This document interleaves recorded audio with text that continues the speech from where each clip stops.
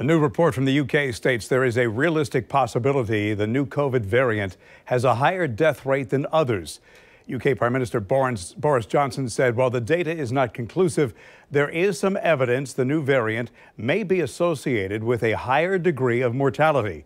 Dr. Jonathan Kantor, an epidemiologist with the Penn Center for Epidemiology, joins me here on the morning show. So, CDC modeling suggests this new variant, which has been shown to spread especially quickly, could become the predominant variant in the United States by March.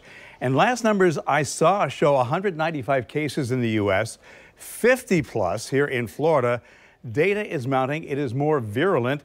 And then we heard this morning there's a case that showed up in Minnesota from Brazil. Worrying? Well, absolutely. I mean, I think part of the concern that we're seeing here is that we had an increase uh, in these numbers of cases. Uh, you know, the other thing to keep in mind, of course, is that when you see numbers like 195 or 50 cases, you know, these are just samples. So this is a representative sampling that they're doing. This is not really showing everything that's out there. Uh, as you mentioned, you know, as we project, because the cases are more likely to spread with the variant, those numbers are going to increase and increase over time. So absolutely, as we're seeing these variants increase, you know, this is something that always happens with viruses, but absolutely it just highlights the need for social distancing, for vaccines when it's available to you, and all those other things that we've been talking about for so long. So people want to know if the current vaccine is going to be effective in fighting these new strains.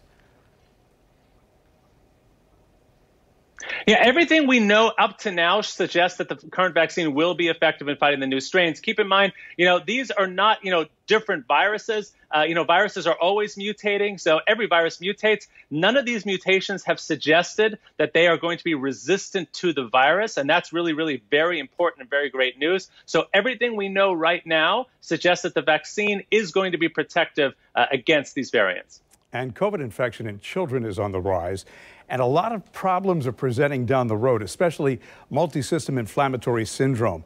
And I'm hearing there may be another surge on the way.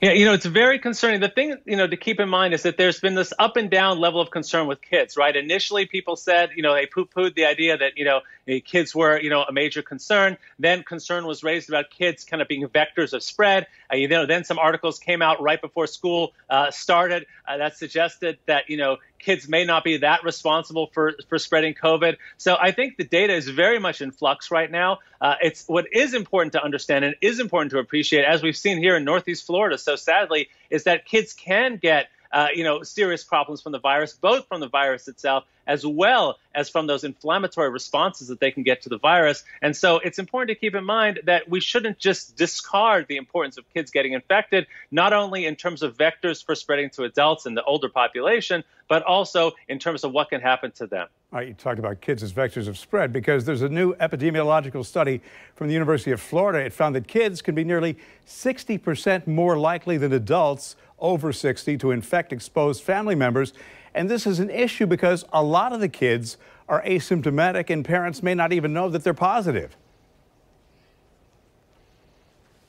Yeah, it's a super, super important issue to keep in mind. Uh, you know, the other thing to keep in mind is the big elephant in the room is there's no vaccine out there for kids right now, and it's not anywhere near us on the horizon. So it's not just that it, the kids are going to be last in line; it's that those clinical trials in kids, uh, some of them are just getting started, and they're having trouble recruiting. So it's going to be very slow. It's going to take a very long time for us to get a viable vaccine that's going to work in kids. And you know, the data have been mixed, as I mentioned. You know, you're right. This, you know, the UF study now is suggesting that kids can be strong vectors. There was data out of Switzerland, for example, beforehand that suggested that kids wouldn't be very good at spreading it. So I don't know if what we're seeing here is just a mix of you know different variants of the virus, or what we're seeing here is really just the evolution of uh, you know as we're seeing what we're kind of seeing live what happens in the process of science as we learn more more and more, unfortunately. And we realize that, you know, there's nothing magical about children that would make them not be able to spread it. So it certainly make sense that kids might not get as sick. But you know, if kids have millions of virus particles and they are sneezing them out or coughing them out or just touching things, then it would be magical thinking to imagine that those are not going to infect adults. And yesterday, Dr. Fauci said maybe we should wear two masks. What did you think about that?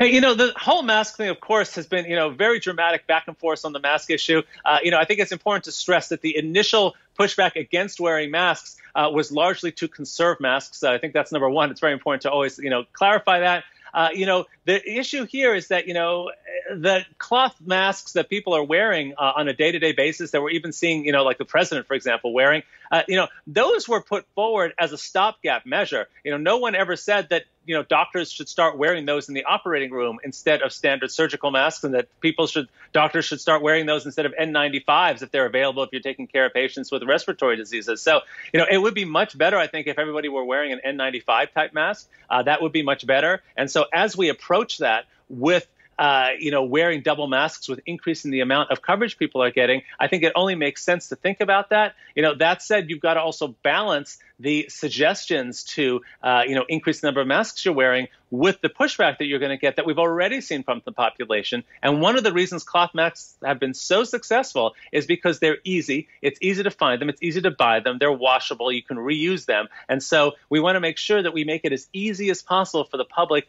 to do what they need to do to provide at least some measure of protection both for themselves and for the community at large. Dr. Kantor, thank you.